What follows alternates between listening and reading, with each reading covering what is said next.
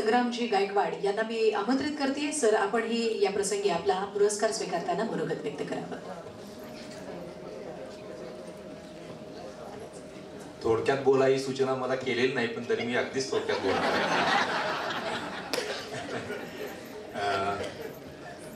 व्यासपीठावरील मान्यवर मनोरमा साहित्य मंडळीचे सगळे सदस्य पदाधिकारी पुरस्कार विजेते त्यांची स्नेही मंडळी आणि र- रसिक मंडळी.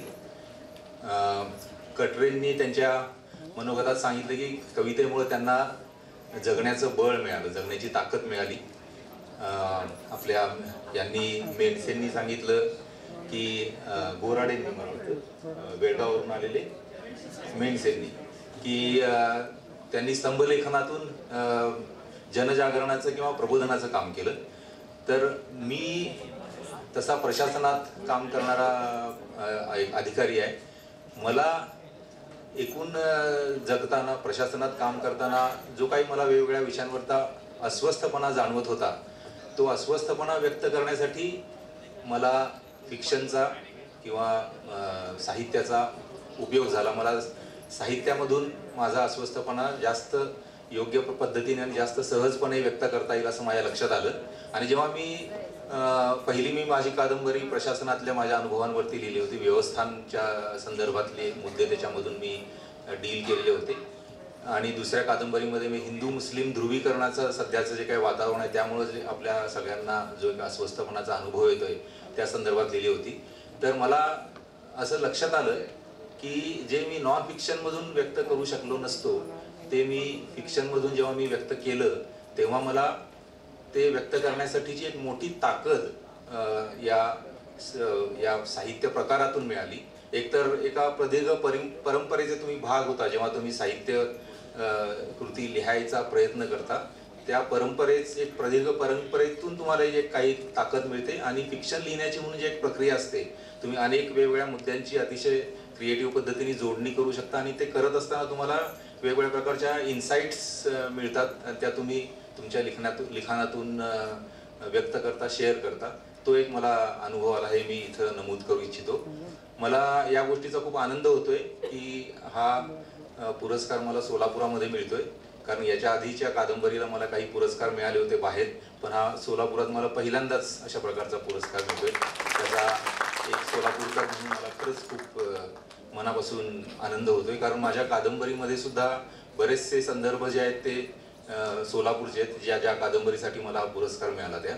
आणि लहान असताना आमच्या गावामध्ये ग्रामीण परिसरामध्ये जे हिंदू मुस्लिम अतिशय समृद्ध अशा प्रकारची एक सामायिक संस्कृती आम्ही अनुभवली. म्हणजे ज्याला दखनी संस्कृती असं सुद्धा म्हणता येईल. जी ओव्हर द पिरियड ती तिचा ऱ्हास होत गेला किंवा ती लोप पावत गेली माझ्या स्वतःच्याच पुढच्या आयुष्यक्रमामध्ये मी ते अनुभवलं होतं. नंतर मी जेव्हा सोलापूर शहरामध्ये जास्त काळ राहायला लागलो तेव्हा साधारण ऐंशीच्या दशकामध्ये इथं जे काही धार्मिक दंगली झालेल्या होत्या त्याचा परिणाम म्हणून मी सुद्धा कट्टरतावादी विचारांकडे वळलो होतो. पण नंतर परत त्यामध्ये काही दुरुस्त्या होत गेल्या. तर त्या सगळ्या अनुभवांचा मला ही कादंबरी लिहिताना उपयोग झाला आणि मला आत्ताच्या सध्याच्या काळामध्ये जेव्हा खरंच म्हणजे आपण वाचतो पेपरमध्ये तसं तर म्हणजे तसं बघायला तर पूर्वी दहा वीस तीस वर्षापूर्वी असं अनबिलिव्हेबल वाटलं असतं की काही सोसायटीमध्ये एखाद्या मुस्लिम माणसाला जर तिथं फ्लॅट घ्यायचा असेल तर ते आता शहरामध्ये सोपं राहिलेलं नाही आहे खाण्यापिण्याच्या सवयी जरी वेगळ्या असल्या तरी एका अतिशय काय म्हणता येईल द्वेषकारक अशा प्रकारच्या भावनांना लोकांना सामोरं जावं लागतंय. या परिस्थितीमध्ये जी काही एक अस्वस्थपणा आपल्याला मनामध्ये उत्पन्न होतो अशा वेळेला आपल्या इथं शेकडो वर्षांपासून अतिशय समृद्ध अशा सामायिक जीवनाच्या ज्या काही आठवणी आहेत साम- सामूहिक स्मृतीमधल्या गोष्टी आहेत त्याचा आठव करणं खूप आवश्यक आहे असं मला वाटलं. म्हणून मी ही कादंबरी लिहिली.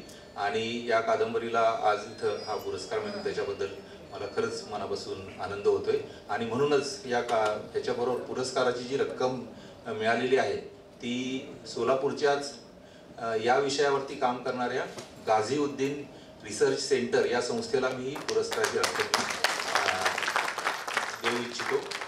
गाझीउद्दीन रिसर्च सेंटर हे सय्यद शहा गाझीउद्दीन नावाचे सोलापुरातलेच एक का विचारवंत कार्यकर्ते होते.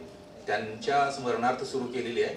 आणि त्यांनी उर्दू भाषेमध्ये शाहू फुले आंबेडकरांवरती ग्रंथरचना केलेली आहे. त्यांचा आंबेडकरांवरचा जो ग्रंथ आहे तो उर्दूमधला पाकिस्तानामध्ये पोचला तिथल्या लाहोर युनिव्हर्सिटीमध्ये आंबेडकरांची जयंती त्यानंतर सुरू झाली.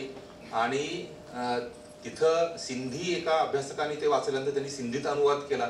असं मोठं काम करणाऱ्या गाझीउद्दीनांच्या नावाने रिसर्च सेंटर सुरू झालेलं आहे. तर त्यांना मी ही पुरस्कारची रक्कम मी त्यांना देऊ इच्छितो. माझ्या कादंबरीबद्दल परीक्षक समितीचे आमचे राजशेखर शिंदेनी अतिशय उदार गुणग्राहकतेनं जे काही बोलले बोलले त्याच्याबद्दल मी त्यांचा आभारी आहे. आणि एकूण परीक्षक स- समितीचं सुद्धा मी पुरस्कारासाठी मी आभार मानतो त्यांचे. आणि मला म- इथं माझं म्हणणं व्यक्त करण्यासाठी संधी दिली त्याबद्दल धन्यवाद. धन्यवाद.